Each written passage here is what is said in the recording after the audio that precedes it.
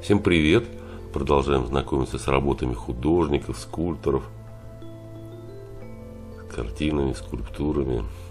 Карайкал Аммаяр, 11 век, бронза, 49 на 22 и на 14. Это бронзовая статуэтка, необычно своими остро-выразительными формами и сюжетом. Она отличается непроизведенными по тонкости чеканки деталями. Изображена реально существовавшая в середине VI века одна из трех женщин Наянмаров.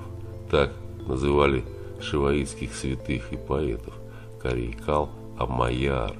Известно о 63 Наянмарах. Они жили в Тамиле в период с 5 по 10 столетие.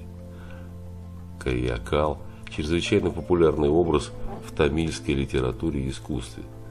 Здесь ее изображение далеко от привычной пышнотелой чувственности индуистских танцовщиц. Женщина была красавицей. После того, как ее муж узнал, что она наделена магическими способностями, он, он отказался от нее.